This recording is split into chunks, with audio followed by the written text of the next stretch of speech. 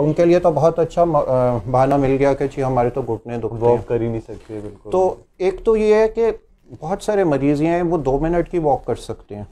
सही। तो वो कहते हैं जी बस दो मिनट के बाद क्या वॉक करनी है? तो जैसे एक कुर्सी इधर रख लें एक उधर रख लें। जब घुटने दुखें तो बैठ जाएँ फिर रेस्ट करके दोबारा चल लें। ठीक है।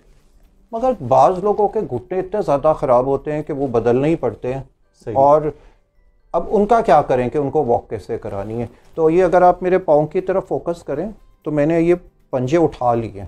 सही। और पंजे उठा के मैंने इनको यूँ हिलाना शुरू कर दिया और अब अब मेरे हाथों की उतर पर देखें तो अब ये बैठे बैठे वॉक शुरू हो गई है।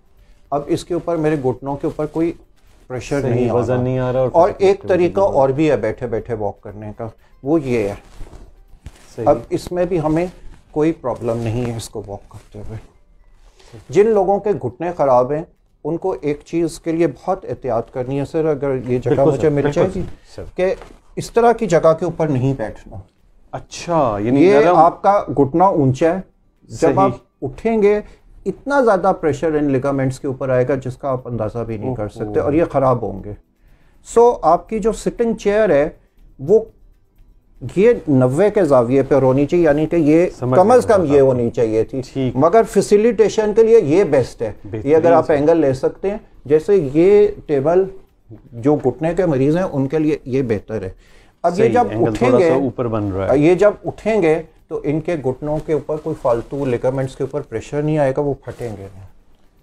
बहुत बेहतरीन डॉक्टर बिलाल। ये तो बहुत ही इंपॉर्टेंट टिप्स थे कि कोई मौसम भी आपकी फ़िज़िकल एक्टिविटी में हावी नहीं है आपको कोई फ़िज़िकल एलिमेंट है घुटनों के एक जवान बच्चों के लिए मैं मैसेज दे दूँ कि लोगों ने ये स्मार्टफोन्स पकड़े होते हैं और बच्चे टेक्स्ट कर रहे होते हैं। जी सर बिल्कुल।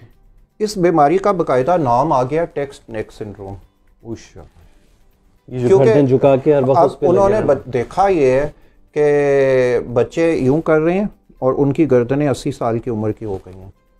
सो so, बच्चों के लिए ये मैसेज है कि आप लोग जैसे मोबाइल पे कोई काम कर रहे हो यूँ कर रहे हो अपनी गर्दन को आपने यूँ ही रखना है इसको एलिवेट करें। बहुत सारे हमारे लोग कंप्यूटर्स के ऊपर काम कर रहे होते हैं जी जी बिल्कुल। तो वो कहते हैं हमें तो यूँ करना पड़ता है। भाई उसके नीचे कोई तकिया रख लें कोई क्वेश्चन रख लें कोई किताबें रख लें और ये लेवल आपका जो है वो अप्रोप्रिएट होना चाहिए। अदरवाइज़ फिर प्रॉब्लम्स होंगे। बहुत शुक्रिया डॉक्टर बिलाल। बहुत काम की चीज़ें, उम्मीद है हमारे दोस्तों को बहुत पसंद आएँगी।